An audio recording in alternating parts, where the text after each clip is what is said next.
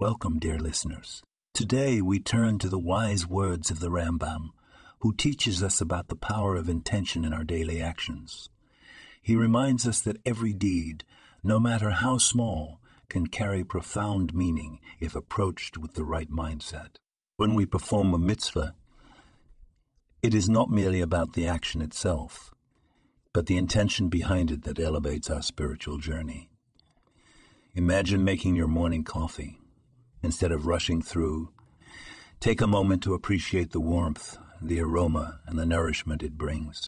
This mindfulness can transform an ordinary routine into a sacred act. The Rambam encourages us to infuse our daily lives with purpose, reminding us that our intentions shape our reality. As we navigate our busy lives, let us strive to be intentional in our actions, bringing a sense of awareness and gratitude to even the simplest tasks. Remember, it's not just what we do, but how we do it that matters. This podcast was produced and sponsored by Daniel Aharonoff.